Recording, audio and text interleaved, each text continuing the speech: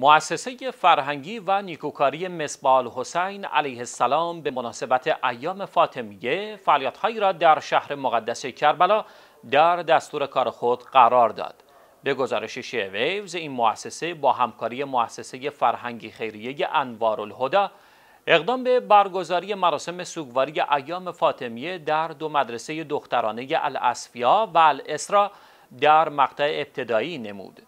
این مراسم که با حضور دانش آموزان این مدارس برگزار گشت شامل خواندن اشعاری در رسای سرور بانوان جهان حضرت فاطمه زهرا سلام الله علیها و تشییع نمادین پیکر آن بزرگبانوی اسلام بود این مراسم همچنین شاهد برگزاری درس های اخلاقی برای کودکان این مدارس ابتدایی بود که توسط کادر مجرب آموزشی به اجرا درآمد.